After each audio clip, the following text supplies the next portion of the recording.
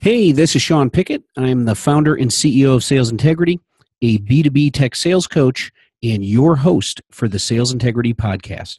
I'm ready to make it another great podcast today. And with that, let's get today's episode rocking and rolling.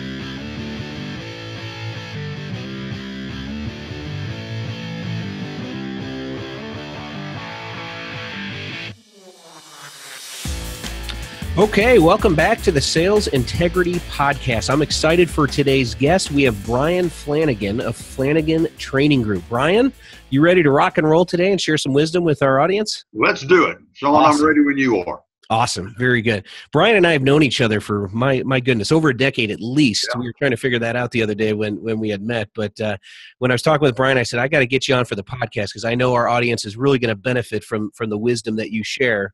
Um, so nobody introduces themselves better than themselves, right, Bryan? I mean, you know your background and, and you know that better than anyone. So I always like to start off having my guests introduce themselves. So why don't we go ahead and uh, have you get started with that? Pretty simple introduction here. I started off as a delivery boy with IBM my second year at Louisiana State University as a mm-hmm. senior. Got a job as a delivery boy, and that led to a 14 year career with the IBM Corporation. Now, Sean, I'm going to date myself here. I sold typewriters and copiers with the IBM Corporation. So I was a I was an office products peddler. But that moved me from sales to sales training at the National Training Center moved me out to California as a sales manager, as a people manager. Then I came back as a senior account rep. 1984, I had been impacted by Zig Ziglar six years prior, 1978, and I had a chance to go to work for Zig in 1984 and spent the last 33 years in this industry. The last few years since we've met, I've had Flanagan Training Group. Mm-hmm. So my career is very, very easy, very simple from IBM to the Ziglar Corporation to my company, and it's treated me well.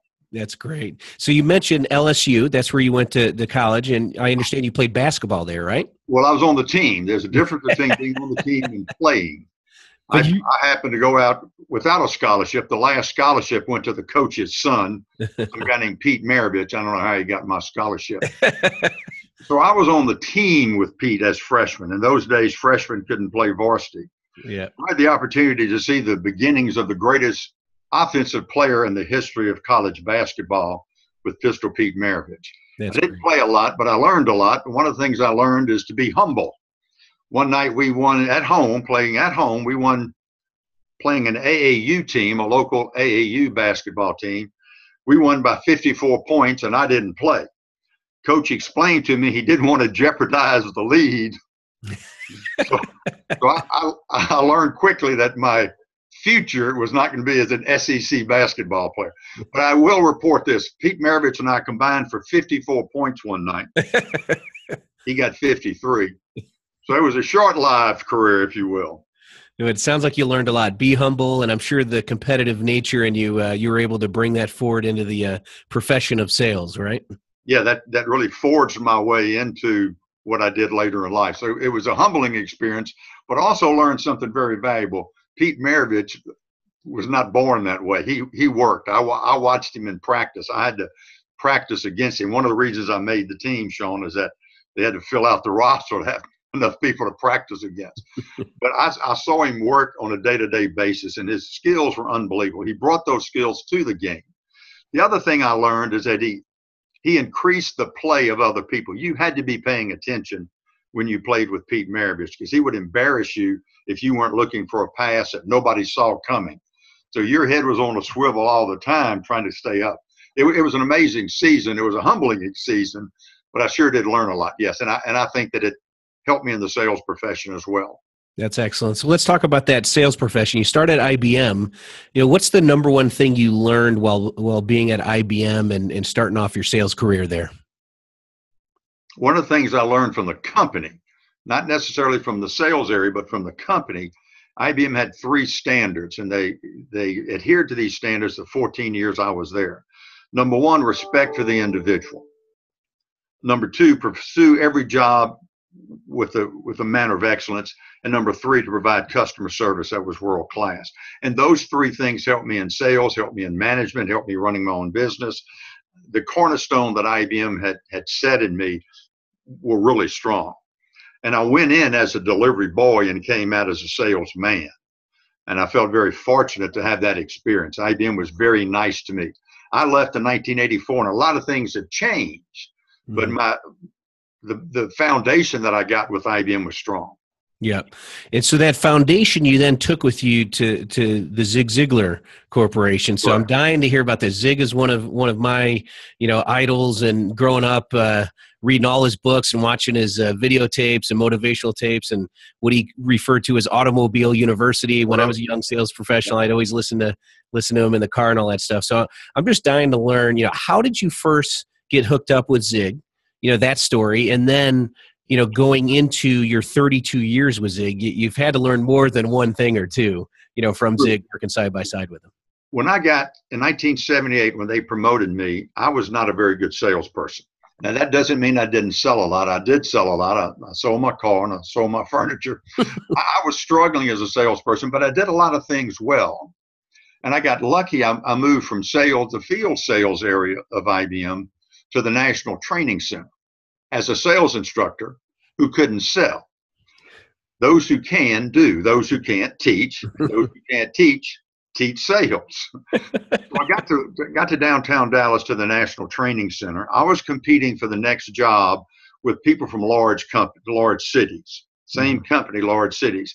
Kathy was from Chicago, Linda was from New York, Ron was from Seattle, Roger was from Boston, and I didn't think I could compete being from Baton Rouge, Louisiana. So one of my buddies said, go out and buy a book. So for $12.95, I went to a downtown bookstore in Dallas, Texas, and I purchased a book by a man named Zig Ziglar. Had never heard of him before. The name of the book was See You at the Top. Mm. I get to page 48, and one sentence, Sean, changed my life. 39 years ago, still impacts my life to this day. And that one sentence said, You cannot consistently perform in a manner that's inconsistent with the way you see yourself.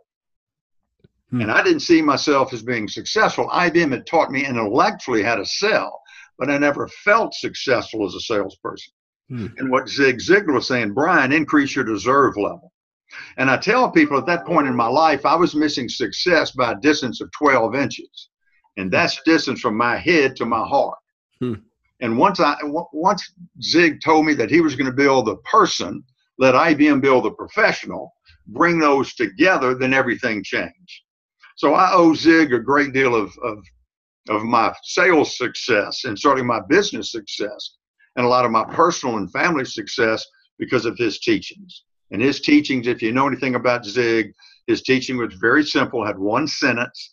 You can have everything in life you want if you will just help enough other people get what they want.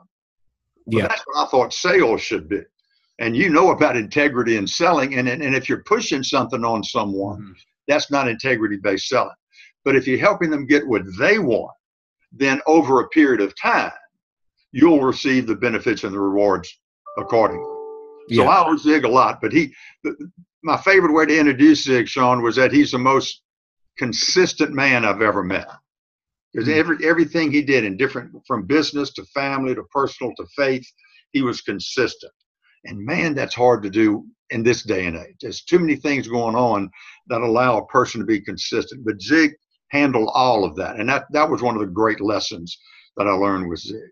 Yeah, and that one statement is what I've kind of based my whole career around is helping enough other people get what they want. You, you in turn will get what you want. So I, I wholeheartedly believe in that. See You at the Top was the first book I remember ever reading, believe it or not, other than like when you're a child in elementary school and the, the books you're forced to read. I mean, the, the books that I went out and actually sought out and, and read. My dad has a massive library of motivational, inspirational books and all that. And that was the one that kind of popped out to me. And he would always listen to Zig Ziglar. So I grew very fond of Zig and his southern uh, twang and the way he his delivery style and all, all that good stuff as well. And we're going to talk about presentation skills here in just a little bit. But before we do, and we're talking about styles, there, there's three what I refer to as Flanaganisms. Uh-oh. Knowing you for, for over a decade now, there's three Flanaganisms, things that are kind of endearing to you, uh, your mantras, if you will, that I really enjoy. So I wanted to kind of get to the get to the bottom of those and the root root of those to figure out where did they come from. So the first thing is, and I pay attention to everything. I'm very detailed when it comes to that, as you know. So at the end of every email, I notice that your your you kind of your uh, salutation there. You always say "grow get them" instead of "go get them." Grow get grow get them. I love that. Where did that come from, and what does that mean? One of the things I learned being in sales is that if you look at a list of what you like about selling, what you dislike about selling, well, people like the fact that they can make money, they have freedom, they can help people, they can build relationships. What they don't like is a rejection, the uncertainty, and the stigma. And once I understood that, and I, and I use this in my sales seminars and my sales trainings, is that if you look at that list, there's not one policy, procedure, or product on either side of the like or the dislike list. Mm-hmm. So what connects the likes and the dislikes is not how it's not so much the logical side of selling, but the emotional side of selling because salespeople get beat up. Mm-hmm. Now, Sean, I'm I'm an accidental salesperson. I wanted to be a high school basketball coach. Mm-hmm. So, because I, I, was raised the same way you were, your mom and dad raised you the same as mine did. They said, "Don't talk to strangers. Don't ask people for money." So we go into sales, and for some of us, it's counterintuitive. So we're going to hear no, the word no, more often mm-hmm. than other professionals. So I always tried to gear myself up. And I see other professionals that get kicked a few times, they hear no, they, they feel they're being rejected, and they just need some encouragement. So one of the things that I started using was grow get them as opposed to go get them, just grow get them because you have to grow into being a sales professional. Most people are accidental sales people. So I like the term grow get them. It's different. Hopefully it gets you it got your attention. So that's when I started using it and it caught on and thank you for the for the feedback. I got feedback on it and I continue to use it. Yeah, and that's the most important thing. It's unique to you. You get feedback. It stands out. And of course, you know, with we'll we'll talk about social selling and kind of a crowded you know marketplace of, of, of competitors out there you you want to be different you want to stand out you want to be unique um, in, in, what you do. I my my mantra and my salutation I always use is "Make it a great day." You've probably noticed that, and right. people have noticed that. I've used that back since the '90s when I was young, Sean, and, and starting and selling and all that. And uh, cold calling was the only method that you could use, and I would always end every cold call voicemail with "Make it a great day." And occasionally, I would get my callbacks from VPs of IT or CIOs, and they'd be kind of monotone. Sean, I got your voicemail. I'm just returning your call. And then at the end, they go, "Oh, and Sean, you make it a great day." Well, and good. it always kind of stood out, you know. And I, I had that feedback from those prospective customers that became customers about that, and I even get chided by friends and, and colleagues that know me real well, saying, "Oh man, you know, make it a great day." Where'd that come from?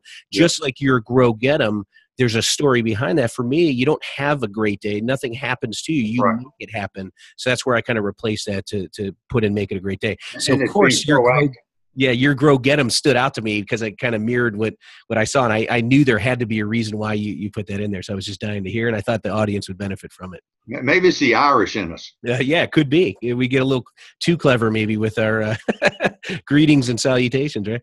Yeah. Um, so the next Flanaganism: learn, laugh, and grow. Where did that come from? What does that mean? If you want to have a good day, you want to have a good day every day, just follow those three principles. Learn something, laugh a little bit, grow in your relationships, grow in your your mental, physical, faith-based, spiritual and and I think that it's it's as salespeople we need to have fun.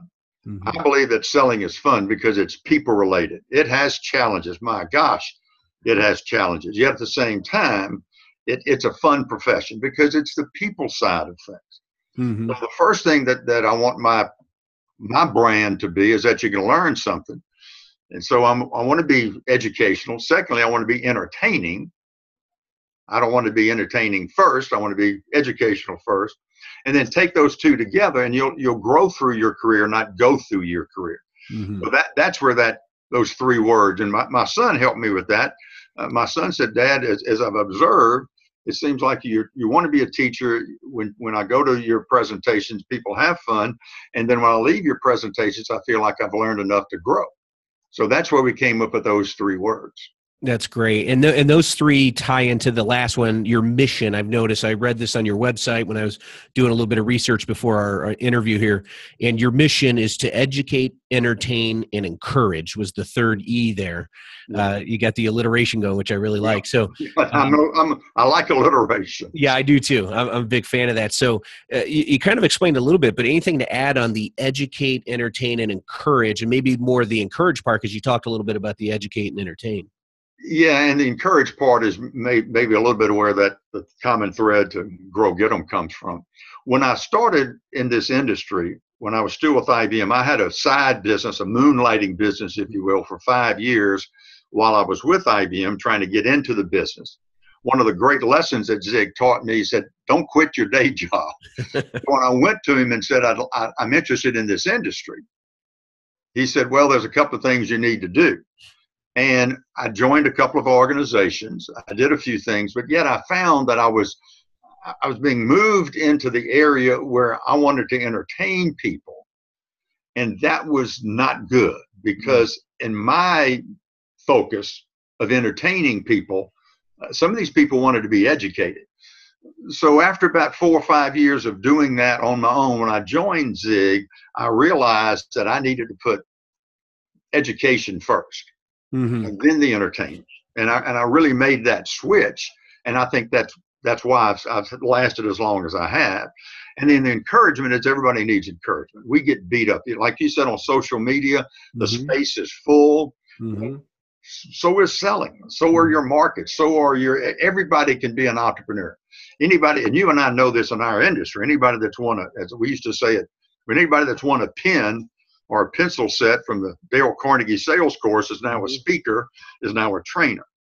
So it's a tough business. There's low entry, low capital to get into it. All you need is some guts and a phone to pick up and go. Mm-hmm. And so you need some encouragement along the way.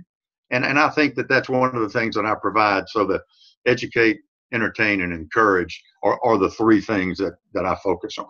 Excellent, and I and it's interesting hearing you tell the story about you, you, were starting to entertain a little more than you were educating, and and Zig having you balance that back and leading in with the educate. That's probably why you have that first uh, ahead of entertain. But you know, humor and entertainment is part of the process because it could become mundane process, this learning thing, and trying to develop and improve your skills. So I like that educate, entertain, and encourage. And you know, I, I'm kind of the family storyteller, large Irish family, right? I'm one of seven kids so you know, there's five boys, two girls, and now, son, I, I, heard I heard it was I heard it was so crowded when you grew up. You never slept alone until after you were married. That, that's what I heard.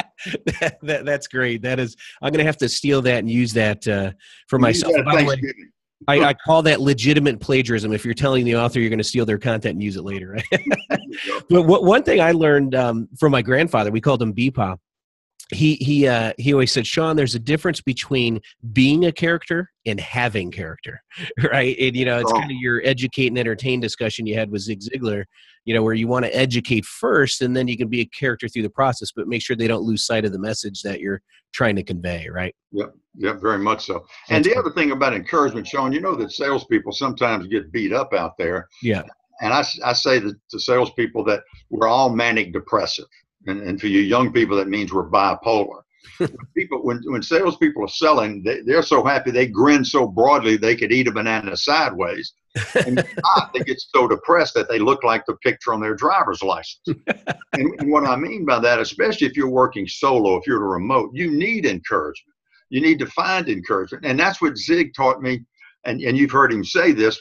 Somebody would come up to him back many years ago and say, Well, Mr. Ziglar, man, once I get into a sales slump, I just plug your, in those days it was cassettes. Mm-hmm. I'd plug that cassette and I'd get out of that sales slump. And Zig would say, well, partner, let me ask you this. Why don't you put the cassettes in before you get into a sales slump? Help you avoid it, right? And that's the encouragement. That's right. Yeah, that's great.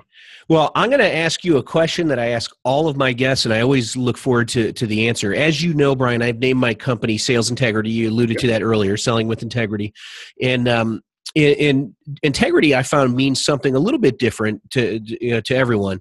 Uh, the most common definition I've always heard is doing what's right, doing the right thing when nobody's looking, right? Yeah. But everybody has their different twist on that. So, how do you, how does Bryan Flanagan define sales integrity or what it means to have integrity as a sales professional, especially in today's modern selling world? Get your pencils out, folks. Here it comes. All, all you get your pencils out. Here it comes. The intention behind your technique determines your integrity. The intention behind your technique determines your integrity. In my heart of hearts, if I know what I'm selling to this person is going to work, I've, I've done my due diligence, I've gone through the process, and in your audience's case, a lot of times, Sean, it's a complex sale and they've got all the, the stakeholders involved mm-hmm. and they know it's a good fit. In their heart of hearts, if they know it's a good fit, then any technique they use is integrity based. However, if you're trying to force fit something, if you know it's not the right fit, then you've got to stop, get back into the discovery stage, and make sure that what you're recommending is going to work for this person.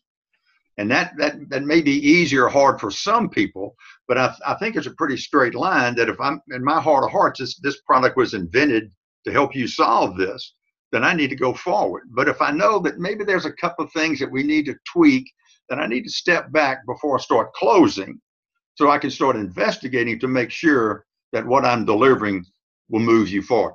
And sometimes it means you've got to walk away from what you thought would be a good prospect because it may not be a good fit. Yeah. I love that. So I'm going to re- read this back to you to make sure I got this. I got my pen out. I didn't have a pencil, yeah. but intention behind your technique determines your integrity. Right. There, right? I love that. And, and I stole that. If you steal from me, you're stealing twice.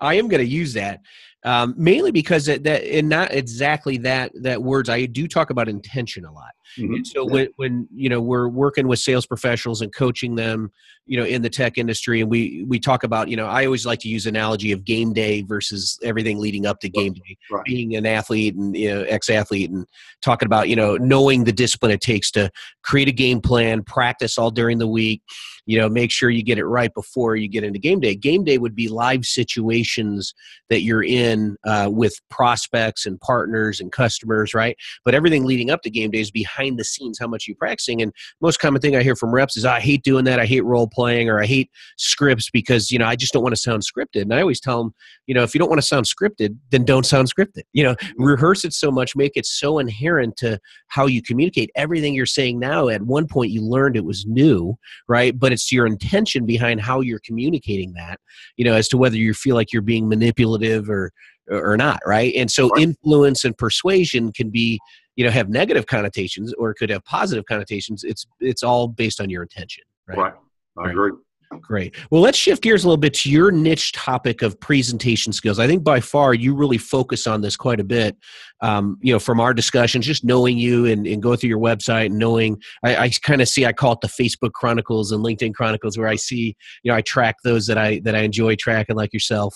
Some some would call it socially lurking, right?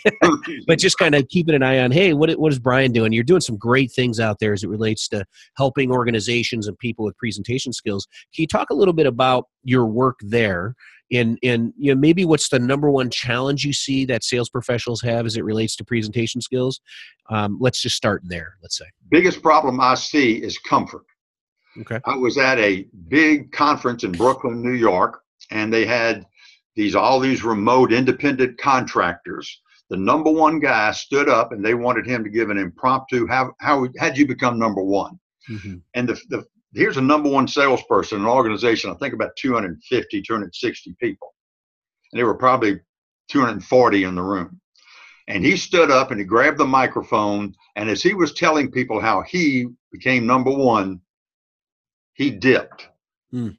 He's, he's take a little sidestep and dip. He was comfortable doing that, but everyone was distracted. Mm. The number one thing I see in sales professionals when they're making sales presentations is that they get comfortable and they lose their effectiveness. People tell me all the time, I don't need a presentation skills course. I'm comfortable in front of a group of people. Mm. I'll then whisper in their ear, Have you ever seen yourself? Because you're not very good. and, and comfort kills careers. That's one of my mantras again. Comfort kills careers. Simply meaning that in your comfort zone, you can't grow. You can't ask the tough questions. You can't close at the right times because your comfort zone is debilitating. The Mhm. same is true in presentations. When you stand in front of a group, people tell me this all the time. When I get nervous, it's because I'm being judged, people are watching me, and I tell them, Where is the audience in your answer? What do you mean? It's always about you. It's never about the audience. You're nervous not because of the audience will gain, it's Mhm. because you're being judged. You're put on the spot. And what I'm trying to do with my 11 presentation skills is take the attention off myself and focus it where it belongs on the other person, on the subject matter, on the committee. And Yeah. that's the biggest thing I see is that the center of attention, especially with salespeople, is usually shining on themselves and not on the subject nor on the prospect. Yeah, that's great. So these 11 presentation skills that, that you refer to, we, we don't have time to go over all 11, but do you want to pick maybe one of them out and just give a high level on what maybe the audience should be thinking about as it relates to presentation skills? I joined my first Toastmasters club. I went to the club. I fell in love with it. If you don't know what Toastmasters is, toastmasters.org. I then gave, came back the next week and I was giving my icebreaker, my four to five minute icebreaker. So I came in, I said, Who's going to be my evaluator? And the masters of ceremonies that day said, Well, unfortunately, the English professor from LSU, Nick the Knife Van Chrysler, is going to be your, be your evaluator. So I Nice. panicked. I stood up. I went four minutes and 35 seconds. I hit my time zones. I didn't faint, didn't throw up, sat down. Nick stands up and said, Bryan, good organization. It'll help you in the future. Oh, by the way, tonight I counted in your presentation.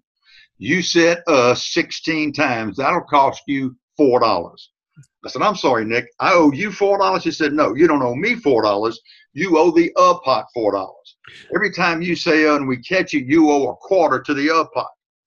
So in my first year in Toastmasters, I financed two club picnics. the biggest thing I hear, the biggest thing I, I, I observe when you leave a voicemail, when you're talking on a prospecting call, it's amazing how many padding filler words that we have.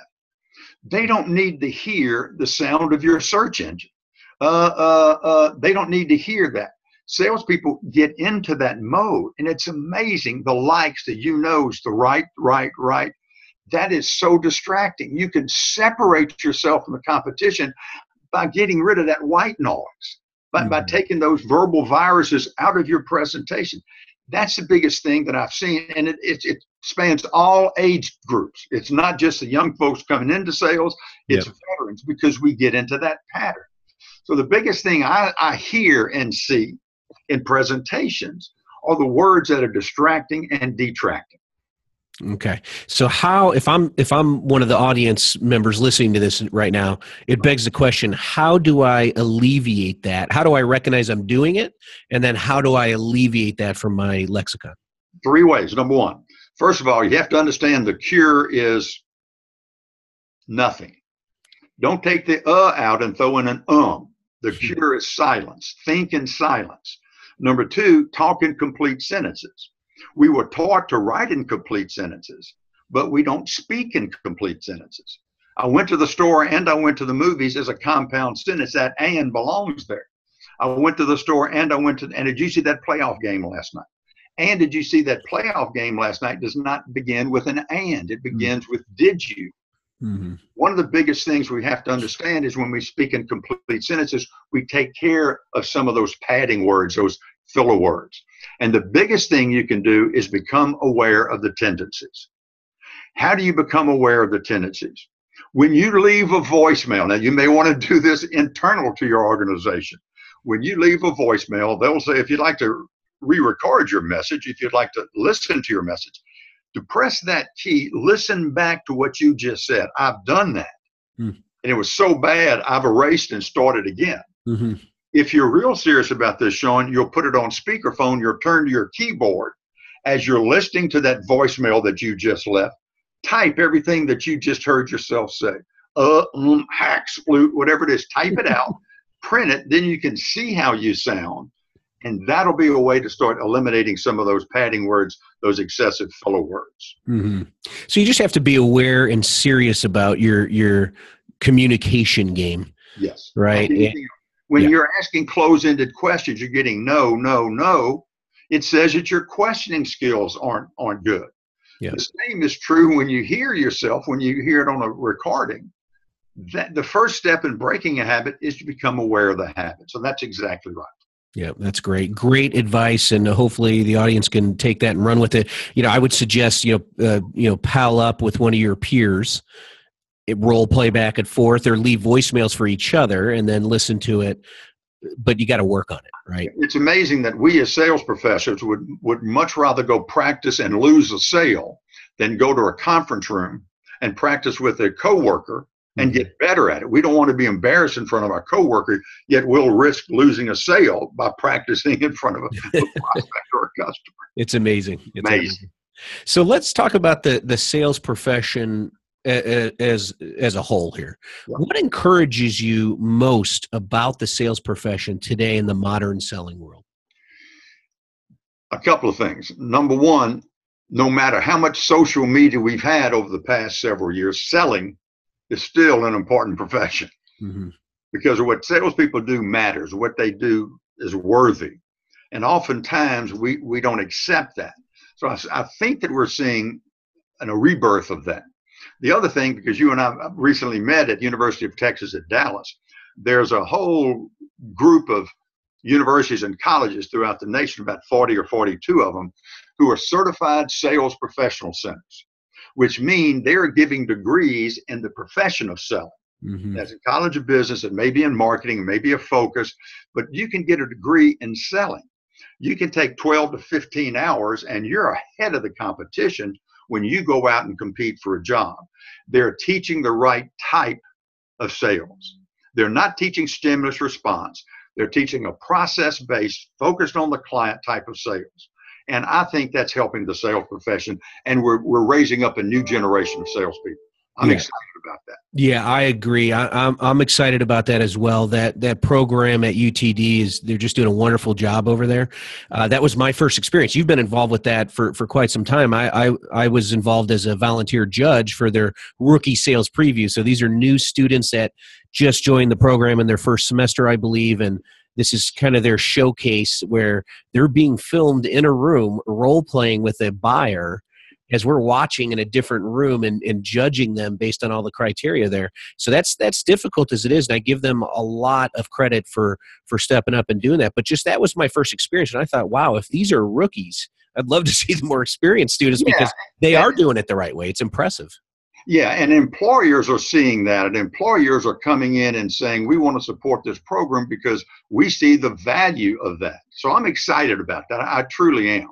Yeah, and Salesforce.com was involved with that. I know other large organizations. I believe there was over 200 corporate sponsors or companies that were there, and this is a kind of a, a, a in a good way a good breeding ground for developing the new up and coming sales talent. And what a wonderful resource for the the you know local companies to go in there and recruit from and i've even met with some that that have recruited and some of these students are finishing up their degree and selling for these companies and boy are they impressive so uh, when did you first get involved with that program and, and kind of what is your involvement with that Several years ago, I was giving a pre I was doing a full day sales training in Phoenix, Arizona uh, to a group of manufacturing reps. There was one table that had an older guy and then these five or six younger people, men and women. And during one of the work groups, I, I walked over to this table and I said, What's your deal? And the man said, I'm a professor at Florida State University, and these are the students. This company supports my program at Florida State, and they hire these people. And so the, these kids they're interviewing this week. Whoa, whoa. So we got together. He invited me to come, and I, I made a couple of presentations to his sales classes. Then he asked me to come present at the Sales Educators Academy, which is a nationwide, well, actually international now. They bring these PhDs in who are teaching sales in these universities, mm-hmm. and they have a two and a half day workshop on how they can do it better. So I drank the Kool Aid. I just thought what they were doing was great. I got involved with Dr. Howard Dover here at University of Texas at Dallas, and I've just been involved. I, I like what they're doing. I enjoy working with the kids. I coach the kids.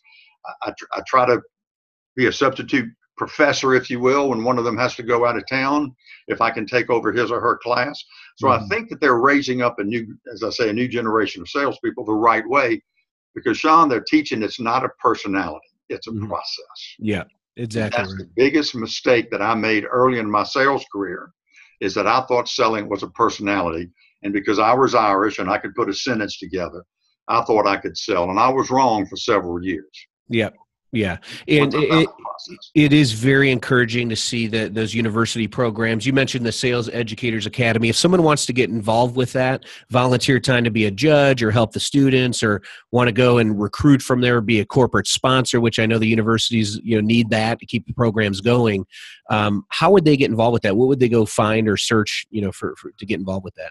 Two ways to that: find your local college, your local university Mm-hmm. Find the business department, see what they're doing because everybody's teaching sales. Not of them, ha- not all of them are certified as a professional sales center, mm-hmm. but they do have classes. And I'm getting more and more calls from from local Texas around the Texas area colleges and universities because they're putting in at least an introductory to sales. I didn't have that when I was.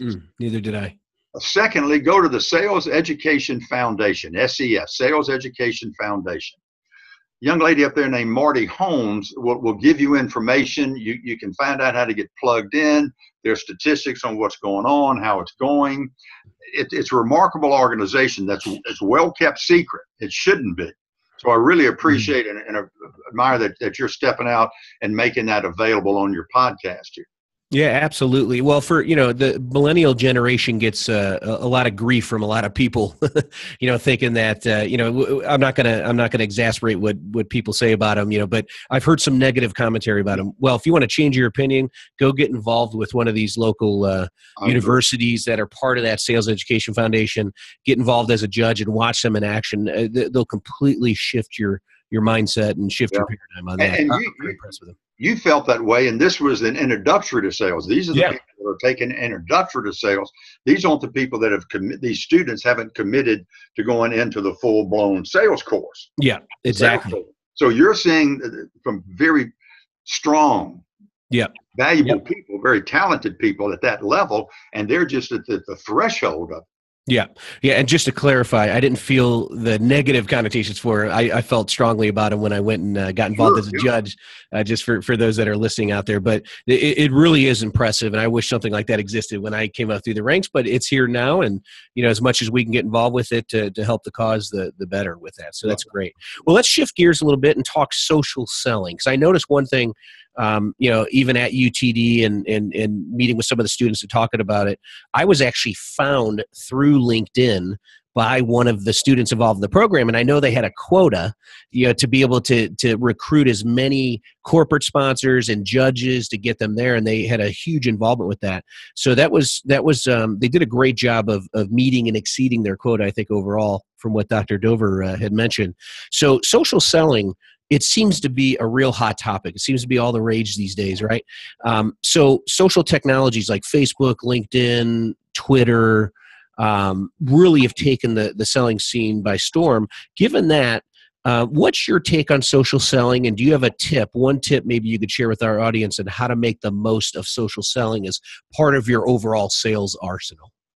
The key is what you just said. It's a part of your sales arsenal. Here's my concern, even with the kids that I work with at UTD. Don't hide behind social media. You, have got to, there's nothing wrong with texting, but you've got to learn how to extend your hand, grab somebody's hand, squeeze it, and look them in the eye and have a sales call. I think that's too often we're taking the easy way out. Mm-hmm. And, and I hear this all the time, and you see it also, Sean. Cold calling is dead. Mm-hmm. I've been doing this since 1970. Cold calling has always been dead for those who don't want to do it. Yeah. it's always been dead. It's always been frightful. So when social media comes in, what's happened is that they think that they're replacing the the face to face, the eyeball to eyeball, with, with all the social media. Some people want to be text, some people want to be email. Mm-hmm. At the same time, that should be part of your strategy, not the only strategy. Because if we have a strategy that's only social media based, we're losing the tactics of making an effective sales call. Yeah. And that's what I pride myself in. I, am not a strategic, I'm not a strategic seller. I'm a tactical seller. So yeah. once you get the social media going, once you get those those connections, here's the question. What do you say when you get there? Yep. You use the process, I call it POGO, P O G O, person, organization, goals, and obstacles. Some people call it SPIN, some mm-hmm. people call it whatever, Challenger Sale. There's a hundred, but I've been using POGO for a while because it's it's centered on the other person. What do you say once you get there? That's mm-hmm. the problem with social media. It's got to be a part.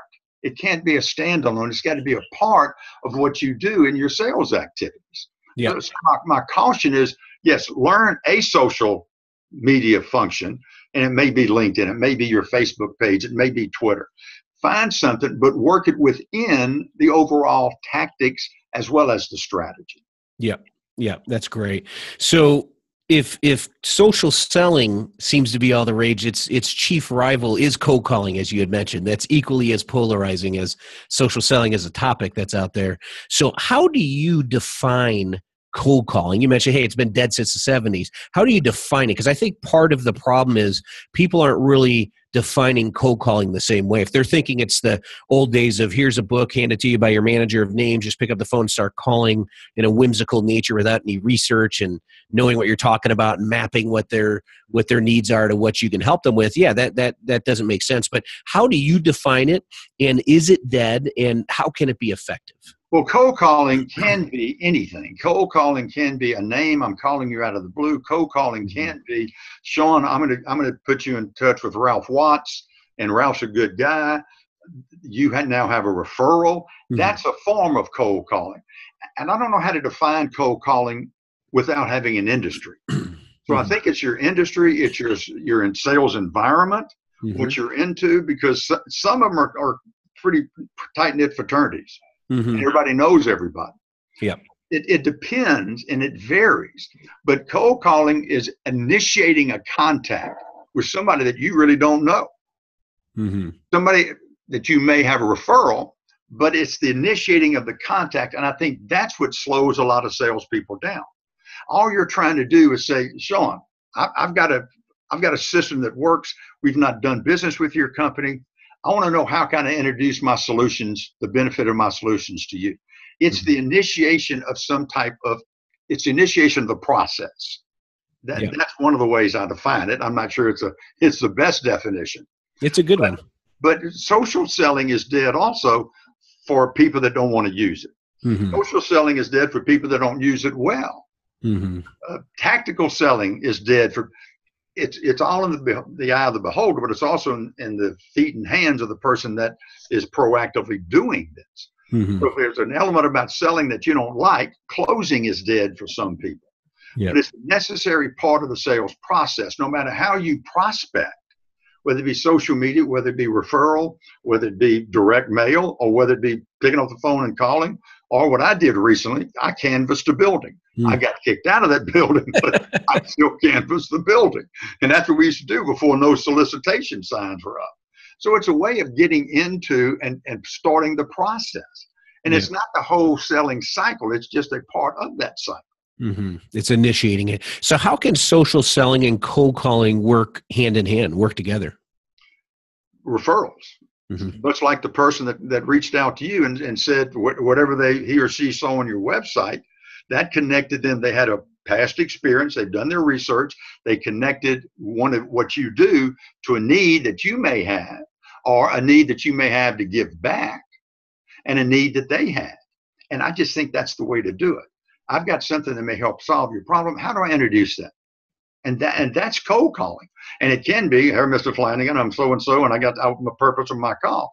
But the biggest mistake we make tactically is we put our purpose before we put our benefit. Mm-hmm. So if I'm calling on you, Sean, and I here's what I want to do, as opposed to Sean, our clients find value in the fact that we help save and reduce whatever. Now the purpose of my call is, I think we need to put the benefit before we put the purpose. Mm-hmm. But we're not educated in that. Pick mm-hmm. up the phone and call. Go get them Tiger. Yeah, it's a tough way to make a living. Yeah. Yeah. Well, Bryan, this has been fun, and we're nearing the end of our time together today. So that means one thing here on the Sales Integrity Podcast it's time for the sales cycle. Hit me with your best shot. I'm ready. the sales ready. cycle. You told me this was this was the lightning round. Yep, yep. The sales cycle is obviously a process that all sales professionals go through when they're guiding opportunities uh, through through that that sales cycle to to closure, hopefully in a, in a successful outcome. But here on the show, it's the name of our lightning round. Okay, so I'm going to ask you seven questions in rapid fire format and i'm going to time you to make it fun. I time all my guests to see you know we're going to tap into that competitive nature and see right. who, who, who is the best. So our previous guest who you know really well stu schlackman he holds the record and it's one minute and 55 seconds. You think you could beat your friend stu? How much leeway do i have to answer in a paragraph or can i just answer well, keep something in mind that our audience has to glean some value out of this. Oh, okay, good. Okay, you I, I, I, am still up for the challenge. you can't just give one word answers. And uh, oh. if you do, then I'm going to ask you to elaborate. And that's all part of the game here. Okay. All right. I'll, I'll follow your instructions. You haven't lied to me yet. that's right. That's right. Okay. So I've got the timer right here. I'm going to start it and I'll ask our first question. I'll stop it when we're done with our seventh question. You ready? I'm ready. Okay. Here we go. First question Name a specific technology or tool you use for identifying and researching target market prospects. I use LinkedIn because that's where I'm comfortable and effective. I don't understand the rest of them. And I, LinkedIn has been very beneficial to me. Okay. Question number two What is the best method to initially get the attention of and connect with your target market prospects? I, I mentioned that earlier anytime you're connecting with somebody, you've got to give them value before you give your purpose. State the benefit to them before you ask them for something. Okay, great. Question number three What method do you use to consistently stay top of mind if your prospects aren't ready to buy just yet? Handwritten notes, not Handwritten notes. because they're so they're so rare. Whether it be yeah. send out cards or I've got a little postcard, but handwritten notes. Great. Number four, what sales process methodology do you use to manage opportunities through the sales cycle? I, I don't have a CRM per se because I've been using my own little method and it's homegrown and unfortunately not not recommended, but there's a lot of paper paper and pencil. Okay. That's the method that I use. Great. And uh, question number five How do you define the concept of closing a sale? The intersection of their being aware of a need and having enough pain or status quo mentality of wanting to get better and the fact that you've got a solution to help, help them get better. Okay question six. How do you know when it's time to close a sale for any given opportunity? That's the downside of using social media. I don't know on social media. Face to face i can look at you as you nod your head. Mm-hmm. i can ask the question if in fact I can pr- provide something, what would it be? If you, if I'm confident we can do this, how do I transfer that confidence to you? Is a question that I've learned to use. And once they tell me that, I get a, a check in that if I can deliver this, we'd have a deal. So the question is, how do I transfer the confidence that I have to you? Okay. Last question. What is your best advice for our audience to improve their closing ratio? Have a process that you know leads to a satisfactory conclusion. Process leads to closing. Okay. I just stopped the clock. Ready for your time? No, but go ahead. Give me a best. Two minutes and 28 seconds. So yeah, I, still... I, got a little long winded on that one. That's all right. That was good. That was it's still Stu, of... Stu is still the champion. He's still the champion. That's right. He's got the, those bragging rights on you there. So, um, why don't we wrap today's show up with your number one piece of advice for those that are in our audience? And these are complex technical b2b sellers. Keep that in mind. So what is your number one piece of advice for our audience? I'm going to give you i'm going to give you two. One is to develop a work ethic and that may be work smart it may be work hard. But if if you've got a complex sale and you know that it's going to be a cycle you know it's not going to one call, one close, which I no longer deal with. I have very few clients that have one call, one close. But you need to have a work ethic that says, I'm going to be consistent, I'm going to stay after it. And the second, especially if you have a long sales cycle, is self belief. Because you've got to have the confidence in yourself that I can hang in there through the cycle, and also the self belief that I can compete with anybody in my space. Work ethic and self belief, I think, carry the day a lot of the time. Not every, not all, but a lot of the time. Excellent, excellent advice. So, how can our audience best connect with you? They can take out a hundred dollar bill, write their name. And best way to connect with me is Bryan B R Y A N Bryan at FlanaganTraining.com. Flanagan is spelled F L A N A G A N. Bryan at FlanaganTraining.com. Great. In the movie Cocktail, Tom Cruise played the character Brian Flanagan but he spelled his name incorrectly. the difference between me and Cruise, I'm tall and my wife's better looking. Bryan at FlanaganTraining.com. Outstanding. Outstanding. Well, this has been a lot of fun, Bryan. I really appreciate your time in joining us today, and hopefully our audience uh, found some great value. I, I, have took copious notes here. I got a whole full page of, uh, of copious notes here. So uh, look forward to putting the podcast out there and having everyone benefit from you. So thank you so much for your time. Ron, I appreciate it. Keep fighting a good fight and grow get them. There you go. There you go. So thank you also to all the sales achievers out there, our audience who took the time to listen to today's interview. I appreciate it. Look forward to everyone applying some of the sales wisdom that Bryan provided during today's interview. So now, as always, let's wrap up today's episode with a few quick reminders. Real quick, before we end today's episode, I wanted to just share a few quick reminders with you. Um, no matter where you listen to the Sales Integrity Podcast, uh, please subscribe to it. Just subscribe to the show so you get them automatically on a weekly basis. Um, the more subscribers we have, the more we're found out there by other uh, potential subscribers. So that greatly helps the show. We are now on Stitcher Radio. So, in addition to Stitcher, we're on iTunes, Stitcher, and SoundCloud. And no matter where you subscribe or listen to us, please provide a five star rating and a quick one to two sentence review. That also helps others find the podcast. So, uh, help us grow the show. That would be great. Um, and also, we still have our free seven day video email course out there. You can go to mastercomplexselling.com uh, to subscribe to that. So, again, mastercomplexselling.com. It's a free seven day video email course titled Seven Steps to Master the Game of Complex Technical Selling. So, that'll do it for today. Go out there in the sales world today, help your customers buy what they want, what they need, and what benefits them. And most importantly, go out there and make it a great day.